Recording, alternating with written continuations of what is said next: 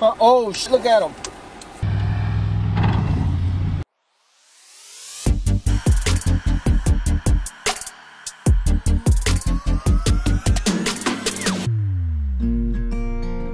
Man, I'm just coming in here and it's already looking kind of nasty for these folks here.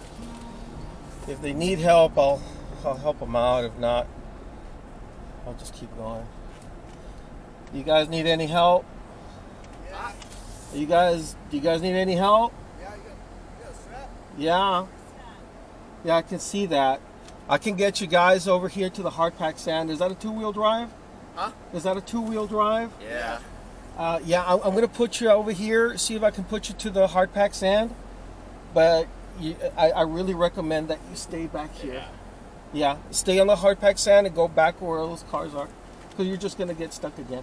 Let me get in front of you. Do, uh, see if you can identify uh, a tow hook in the front. He's got some like right on the bumper. Beautiful. All right, let me get over there. While I get set up, I want to thank you for joining us on another South Padre Island camping adventure. Rey from Blue Lines 5.0 and our buddy Noe will come along too. Now let's get these island visitors out.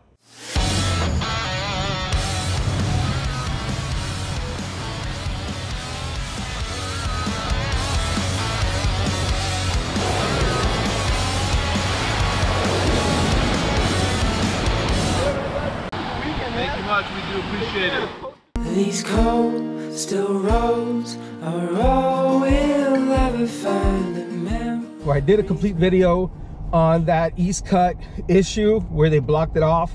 So make sure you go check that out if you haven't done so yet. Um, I'm going to be focusing on the camping part in this particular video and we're going to be doing some fishing. So let's see how it goes, man. I, I haven't done this in a while, so this overnight camping trip should be pretty cool. Uh, I got a Gazelle T4 Plus tent, which is double the size of the one I used to have. So we'll be setting that up and, you know, we'll go ahead and tell you a little bit about it. Hopefully you'll find it interesting. But anyway, on we go. We got a long way to go right now, so. Blue Lines 5.0 to Coastal GX, radio check. Charlie Golf X-Ray. Even Charlie. For those of you new to Coastal GX, please consider subscribing to my channel and liking our content. Your support encourages me to keep bringing you more videos. Also, we typically drive the full 27 miles north from the Cameron County Beach Access 6 entrance to the Port Mansfield Cut. We are always on the lookout for interesting things along the way. Victor. Oh, wait, follow, follow underneath this canopy here. Careful. My friend Rey loves to salvage abandoned canopies that otherwise litter the landscape.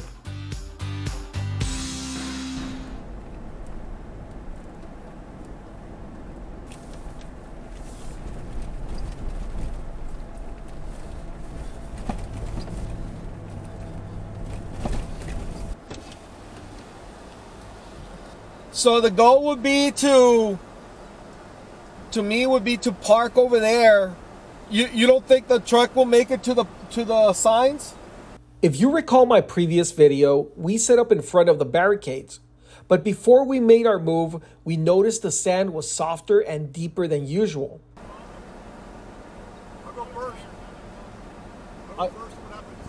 Are you sure? Help me out. Está bueno. Just just, o put it on four low ya de una vez.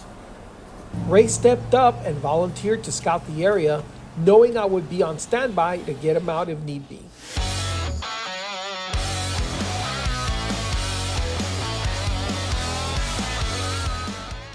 Uh, oh, look at him. I'm gonna go over there.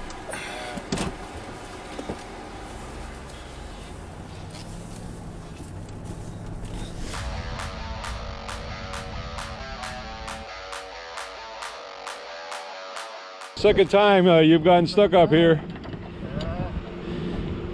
What do you got to say for yourself? You didn't learn the first time? Well, and then there's always an adventure, and I don't mind. This is a learning experience for everybody else who comes out here that there's a possibility that you will get stuck out here. Okay? Good thing you have good friends that'll join me this weekend. Robert and Noe here, who have two uh, capable vehicles who are able to pull me out. This is, uh, I think, the worst I've ever been stuck. Yeah. That, that low. But uh, Well, you weren't that stuck, but you buried yourself. You should have stopped. But that's all right. This was done so we could see what uh, Robert's what Robert's truck can do here. I better buckle up. Yeah.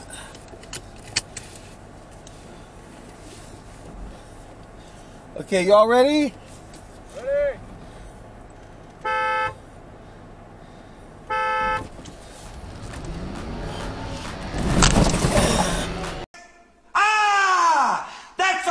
Face! Now let me see your war face! Ah!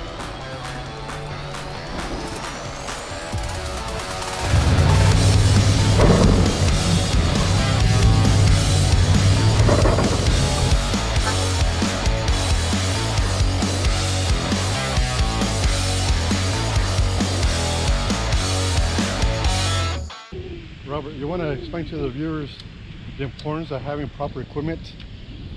The way we have it hooked up that makes it so much easier to get out of ruts. Yeah. Uh, was that? Yeah, absolutely. So it's very important to know that the right equipment for the right job is very important. Whatever you guys do, you know this is a tool.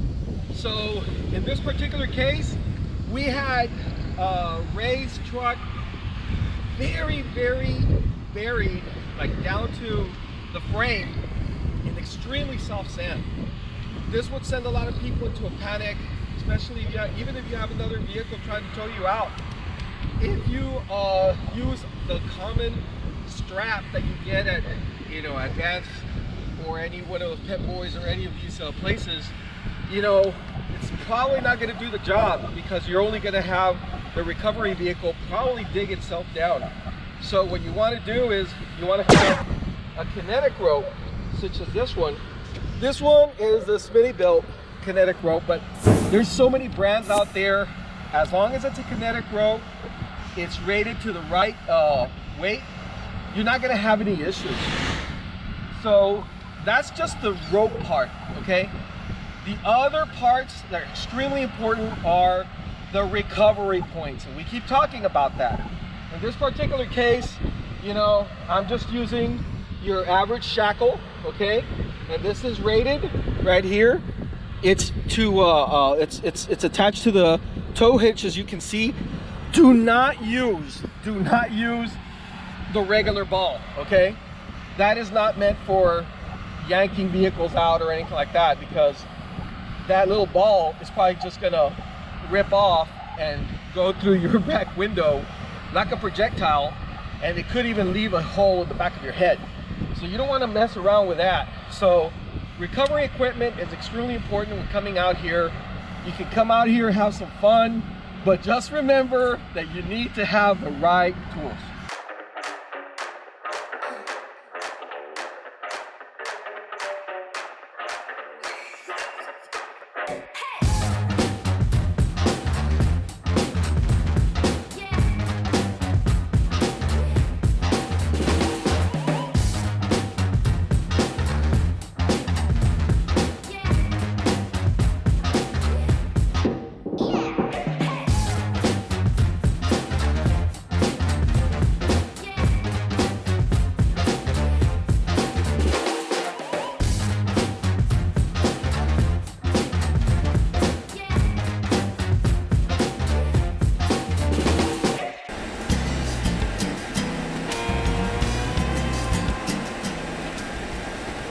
Yeah, in that flat area, right? Yeah. I'm gonna park right there. We found the perfect camping spot just about a mile south of the East Cut along the beach. It was my first time setting up my Gazelle T4 Plus tent, so I recruited help from Rey and Noe. We had filmed an entire video under the sun and had that whole Rey rescue mission. My prolonged exposure to the heat was taking a toll on my health. I didn't realize it until later, but I had every single symptom of a heat stroke. I stopped what I was doing and continued to hydrate and cool down in my truck.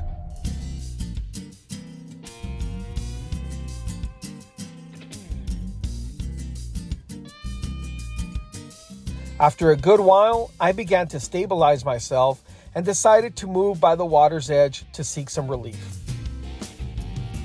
Hey, my friends, so today has been a very, very hot day. I gotta tell you, I hadn't been out here at least, you know, to stay overnight or do any of this stuff, but it was really, really draining. Um, the hot weather, you know, I gotta tell you the difference that I was feeling just between that area over there when I was setting up camp okay i almost felt sick man. I mean it was that hot and maybe i'm not maybe i'm just not used to it anymore or I haven't been tested like that tested myself in a while. But setting up camp was brutal okay? Thank god i had ray. Thank god i had uh, noe over here to help me out set up the tent. But just walking from that area right there okay right from there to right here right by the, the, the right by the, the, the ocean over here. And I'm saying it I, this is obviously meant for the folks who are not familiar with South Padre Island who don't come out here often. But the the drop and the comfortable setting over here by the, by the ocean is incredible. It's like instant relief instant relief. So after I kind of chilled out a little bit went to my vehicle hit that AC on high and I didn't I just wanted to hydrate just wanted to hydrate and uh, you know get out there after a while after I felt started feeling better. You know then that's when I started you know hanging out over here with Noe but it was such an uncomfortable situation for me today.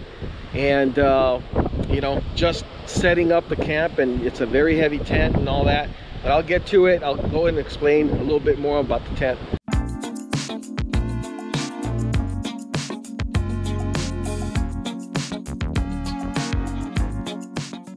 Okay guys, this is the Gazelle T4 tent, the one that you've seen me use so many times.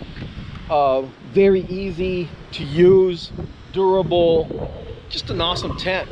Um, this is what I was using. I, I sold it to uh, one of my subscribers. He's very happy. He and his wife are very happy with it. They've used it several times. Uh, Rey has this one right here. He loaned it out to Noe because we wanted to test out my new Gazelle T4 Plus tent. Okay, as you can see, it's got like a gazebo over here. You can roll down the little windows and you can use it as a as its own bedroom, as its own uh, pretty much its own little area. So you can have one person over here and another person over here. Okay. So let me show you a little bit more. So just just like the regular Gazelle T, uh, T4 tent, it comes with this uh, canopy over here, okay? A rainfly, they call it, I'm sorry. And uh, it's the same, same setup, like I said, you know, they both pop up, but as you can imagine, the tent's gonna weigh twice as much. The tent is gonna be uh, twice as harder to set up more stakes to carry more stuff to do. Um, i don't know. I'm i'm, I'm, I'm kind of regretting i'm kind of regretting my purchase to be honest with you. I'll tell you why i'm regretting my purchase is because you know it's a lot easier it was a lot easier for me just to unload the regular t4 set it up on my own it's all good. When i bought this thing I thought, hey, I was gonna be coming out here more often with my son Robbie. Robbie got a, a, job and his career has gone off and he's up in Houston. So yeah, it's I'm on my own. So I don't need this big tent.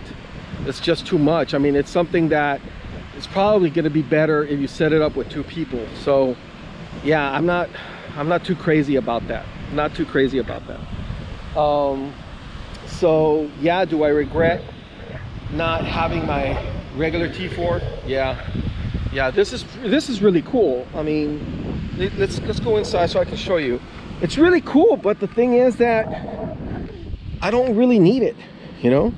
I don't need all this space if it's just gonna be me. There's plenty of space. There's plenty of space. So you can see it's got the, the zipper. Never mind all that, all that sand. I brought in that sand. It's just the way it is. That's part of the beach life. This is what's gonna happen, you know? And I haven't set up my my uh my uh, mattress i'll be doing that a little bit uh ray's gonna be sleeping in this area today okay uh he's gonna try this out but what's pretty cool is that we have this divider right here. So he's gonna have his privacy you know going in through here. And uh i'm gonna be sleeping on this other side which is what you expect a little more traditional t4 uh setup with the little windows and all that stuff that you expect you know? Yes i did bring a fan because last time i came out here it was super hot around this time last year and it was brutal so i didn't screw up this time i brought a fan and uh, over here you know you have these these huge huge windows and uh, basically what people can use them for you know use this area over here as I guess like a little gazebo. They want to, there's a lot of mosquitoes or whatever. You can go ahead and just set up over here and uh, you, maybe even a cooking area, you know. So what is the difference? Is it as easy? There's, there's a lot of videos out there on how to set it up. So I'm not going to waste your time on that. But is it as easy as setting up a T4 uh, with an extra person it is better but it's still harder even with two people it's still harder uh, it has these little beams right here okay you still have to use these beams. So that kind of sucks. Uh, there's no beams with the regular T4 um, but hey if you want more space I guess you have to expect that. It's uh so yeah. That's pretty much it with this thing. I mean everything else it's still built with a lot of quality, high quality. You know, it's really neat. You know, it's got a, uh, what do you call it? It's got, you know, the high quality zippers that you expect from the Gazelle tent lineup. You know, high quality products, high quality material. You know, but uh, yeah. So convenience, eh, I don't know, not so much, man. Not not for me. I, I'm not feeling it.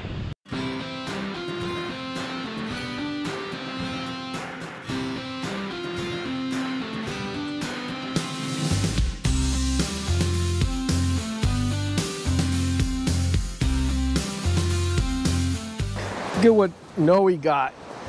A big old gaff top. Check it out. Yeah. For those of you who don't know what a gaff top is or why it's called that, it's because of that very distinctive dorsal fin right there. But some people say that they eat them, so I just heard Rey. I don't know if he's gonna do they it. Are edible. Uh, They're edible. I've heard a lot of people that said they are very edible. And uh, I think Rey, one of his uh, viewers last time said that they even give scholarship if you catch something this big. I have no idea. Uh, I, am greasy. Yeah. I have no idea um, if they do, but look at that beautiful blue color to it. I don't know if it's picking it up. Nice Yeah. little color to that. All right, Rey, let me rinse off some of this. Mocha's very interested in that cat. What do you think, Rey? You think you're gonna try to uh, cook that thing or what? Well, I, I do, but I think I want a bigger one because I want everybody to feast on it. But I guess what we're gonna try it. Why not? Yeah. Just put it in the ice box. Go put it in the ice box. Put it in the ice box. Oh my God. We're gonna. They say they're tasty.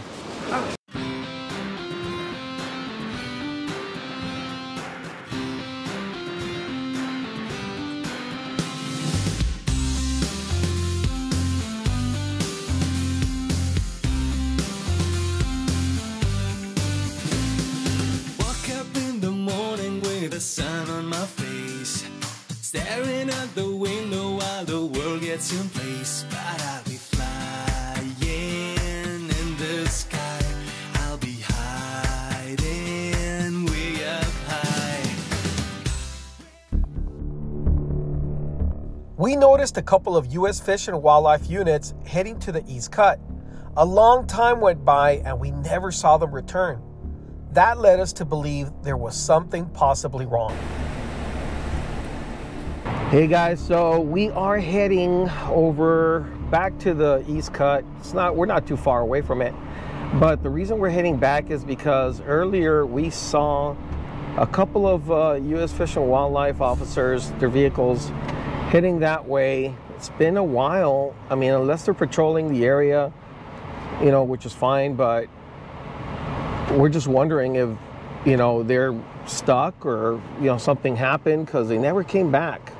So, you know, uh, Noe and Noe was extra vigilant and he's the one that, that noticed that and he alerted us to it. And so now I'm following him way over there and we're gonna go see. But yeah, it seems like there is something wrong because I see the fish and wildlife people with a strap and it appears like something's going on. Maybe they already rescued them, but I see the strap there. It seems like somebody probably already got him out. So, yeah, that's interesting. As it turns out, both of the officers ran into the same issue as Ray. They were well prepared and got themselves out by the time we got there. We started barbecue or we haven't started doing yet. So, but uh, anyways, you guys started, yeah, no T-bones, right? Ramon, one of our subscribers, dropped by our camp to say hello. We are a friendly bunch, so if you ever see us, introduce yourself and give me some feedback. Take care, brother. Ramon was heading to the Port Mansfield jetties with his family. On his way back, he showed us his catch, so you don't want to miss that later in this video. These cold, still roads are all we'll ever find. The memories made from trails we left behind along the way. I know these roads will take us home.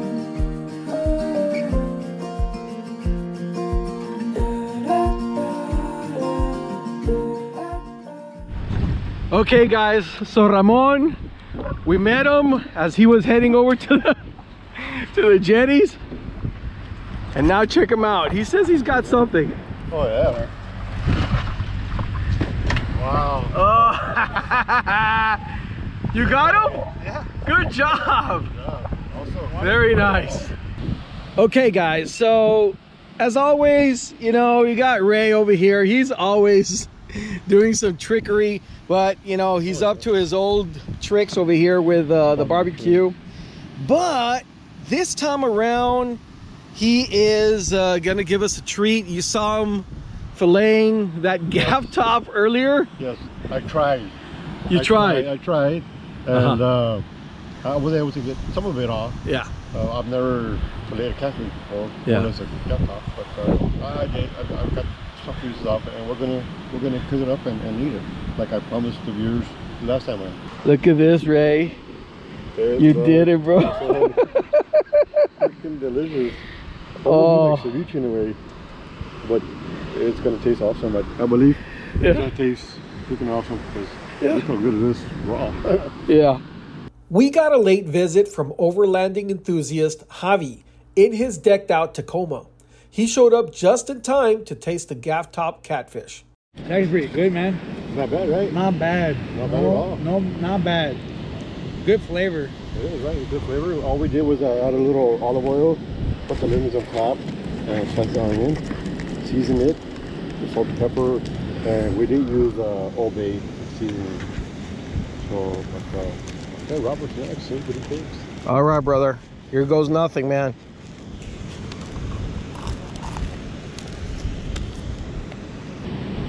Solid, man. Not bad, right? Solid. Ooh, look at that. That looks good, man. Little onion. So, and uh, I am gonna put a little lime on this. Yeah. Top it off a little serrano pepper right yeah. here. Here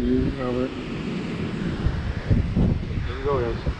Okay, bro. You gonna you gonna give us a test? This will warm up. Let it cool off a little bit.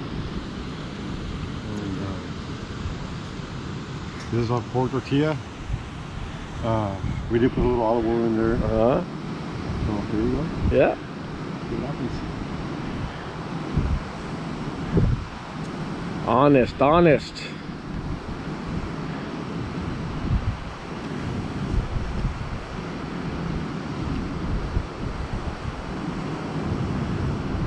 Not bad at all. Not Good. bad. Yeah. They don't taste, uh, what do you call it? What do you say? Gamey or fishy? Fishy. No, not- not at all. It tastes really good.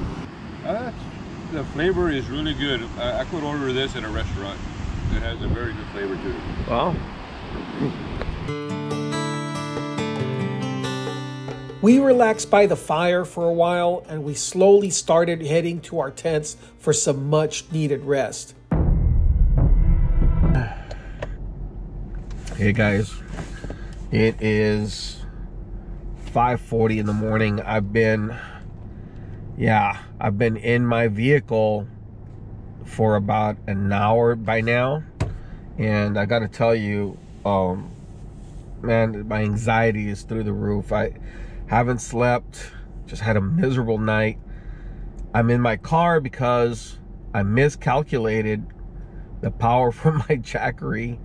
I don't know how the heck that happened. I mean, obviously, you know, I was was pulling more more juice than what was going into it.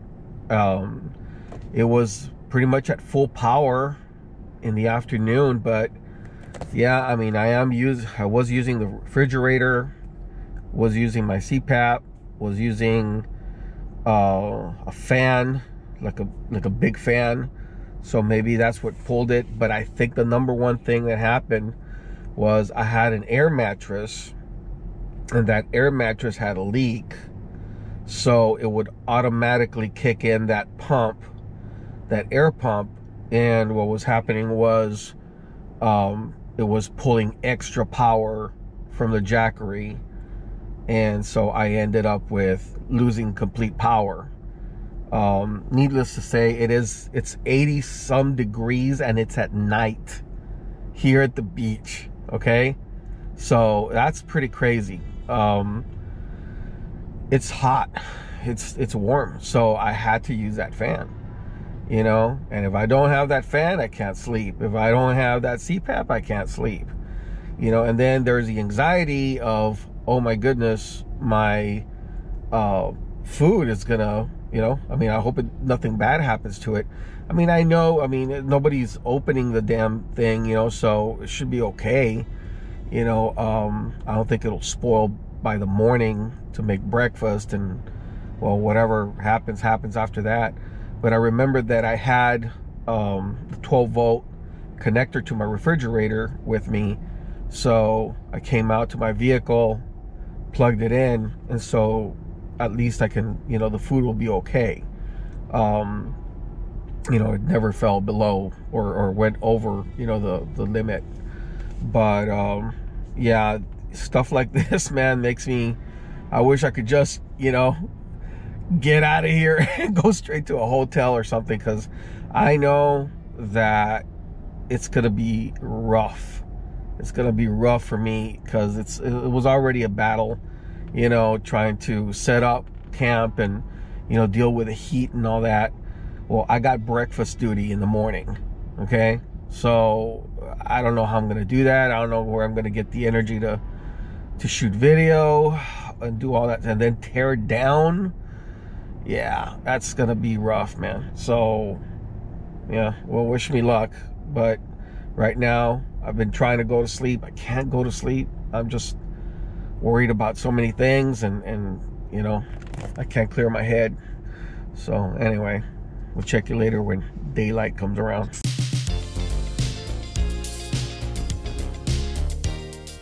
Friends, I don't know what you all believe in, but I said a prayer and somehow mustered up the strength to focus up.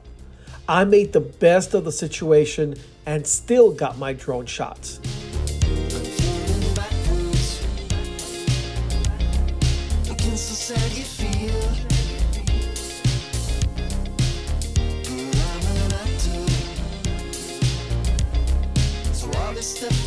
Stuff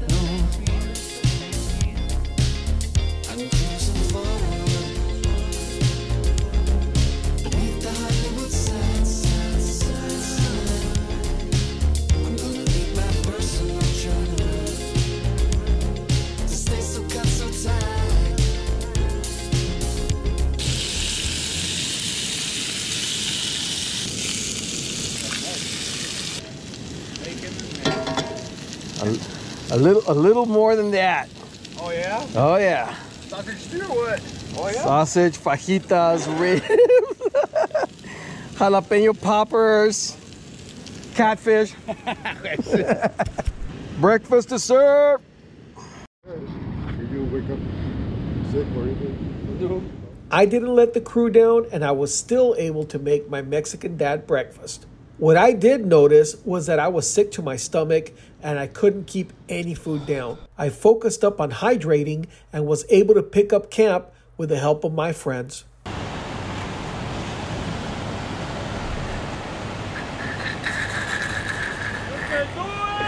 Oh, dude, you actually did it though.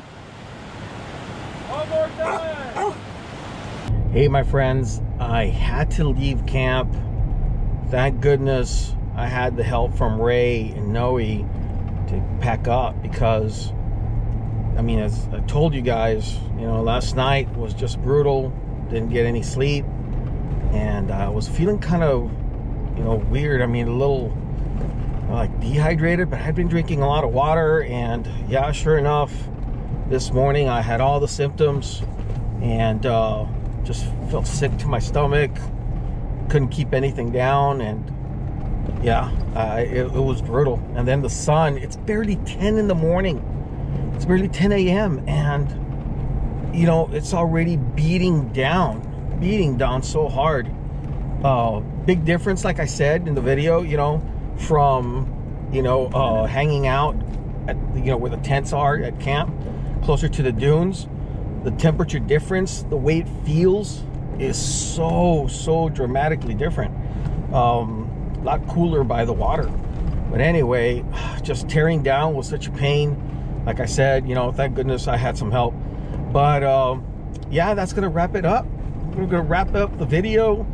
If you haven't subscribed yet, please do so. It really helps the channel, motivates me to bring you more content.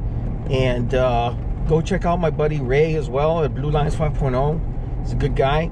He's trying to build his channel as well.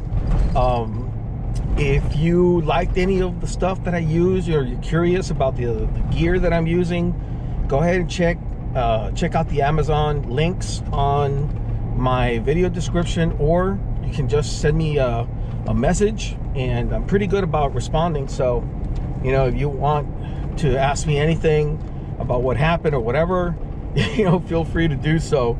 I'll be more than happy to chat with you guys. Uh, so anyway, that's going to be it. Y'all take care, and we'll see you on the next one.